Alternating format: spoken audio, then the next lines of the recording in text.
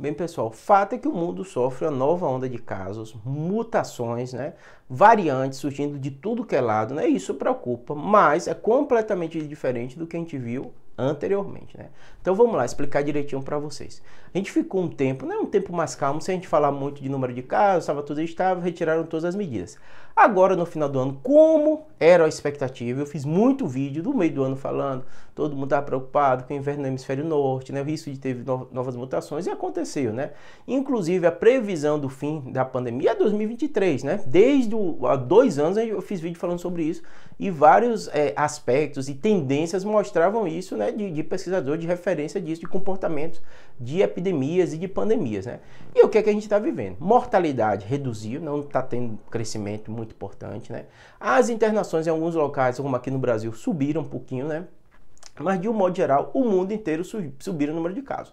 China com recorde de número de casos, né? Estados Unidos, Europa também, ó, boom de número de casos, mas nada tão grave como, como era antes, né? Então o que a gente vai prestar atenção? Vai prestar atenção que vai acontecer o comportamento dessas mutações.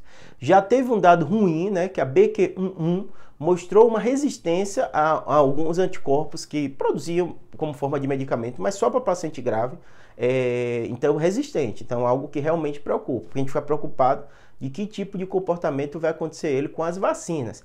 Lembrando que caiu um pouquinho a proteção na Ômicron, da vacina que a gente aplica aqui no Brasil, que é que eu tomei, mas já tem a vacina da Pfizer, da Moderna modificada, que com excelente cobertura, inclusive para essas variantes novas que surgiram, né, que tem chamado ela de bivalente, né, ela tem uma proteção melhor, né. Então o que a gente vai observar é isso. Até agora não tem grandes indicadores de preocupação quanto à mortalidade, mais indicadores de preocupação como a transmissão. Então as medidas restritivas mais intensas não têm tem sido recomendado, mas tem sido recomendado o retorno das máscaras em várias situações. Avião já voltou no Brasil, transporte público também. Vamos ver se vai voltar para ambientes fechados.